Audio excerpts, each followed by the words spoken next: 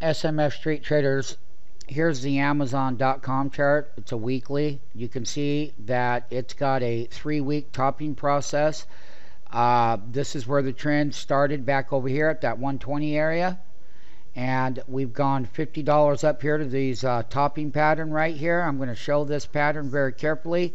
That is a 50 week moving average, and I'm selling below the 50 week moving average. Now, granted that the name itself, Amazon, had 7.1 million shares. It closed at 165.68. The low was 165.05.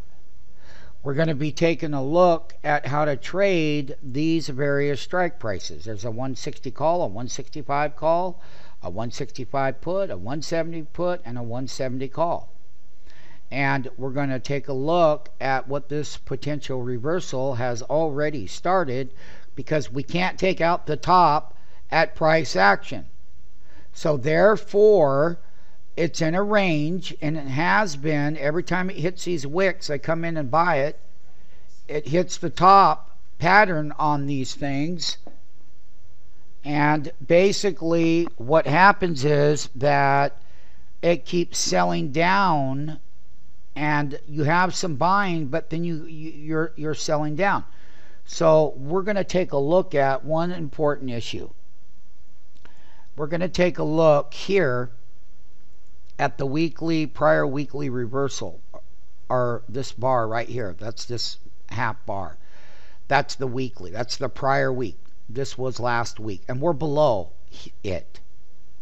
And we've undercut it and that's 167.82 is the upper end of that resistance which would mean a lower high off of the 170 we're on the weekly overbought list at 94% give me a break. The bulls always do it to themselves. And what do they do? They walk this crap until they get so overbought People get stuck in them and then they get taken down. 93%, 94%, 92%, 94, now 91%. Overbought. Things go too far too quickly. They overshoot, they get overbought. They got to correct so that new buyers can get in. One thing about this year end options expiration in November are the fund managers, and part of these moves up here is a big asset fund managers are still chasing performance. They're still chasing performance because they missed the move in September and October, and now they're chasing performance. That's why you have this up pattern, down pattern, up pattern, and then finally again distribution. Because you got those people keep trying to buy up here, and this this is a monthly top pattern on Amazon. And Amazon is overbought. It needs to come down to 160. And here we'll be taking a look at this very strike price as well. So let's take a look at half of your monthly bar right there. That's at 159.50. That's where we made the top. This is the three week top. Basically, I'm closing below half of that bar. We are overbought. It's good for intraday short. Every time they go up on the open on the intraday level, we pointed it out all week and all last week is sell down, sell down. Short the high intraday and they come down. And it's been doing exactly what we said, and the trades and the trades and the price action and everything prove itself. Okay, 171.26. He runs it up, slide that bid down to 165. That's a good intraday short, MMTs. That's the weekly chart.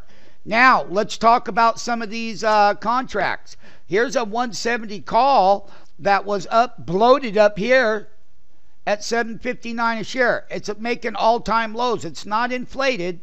This is inflated. We're looking at the deflated areas during the options expiration. So there's the 170 call.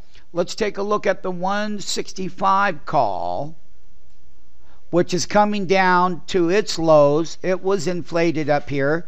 Uh, unlike when you couldn't take the price action out here, MMTs, on the weekly chart, you were making the weekly highs in the option.